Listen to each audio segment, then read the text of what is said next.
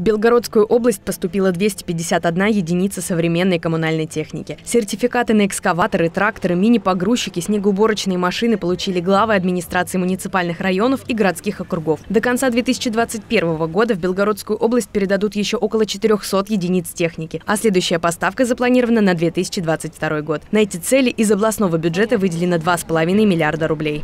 Не получилось в этом году приобрести только по одной причине. Оказалось, что наша промышленность просто в таком количестве, в каком закупает Белгородская область, не производит.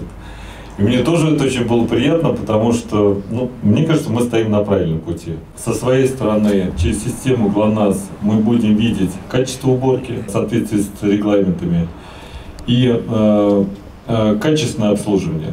Белгород получил 30 единиц коммунальной техники. Машины многофункциональные с десятками дополнительных возможностей. Использовать их можно в любое время года. Дарья Атаманова, Сергей Драчев, Белгород Медиа.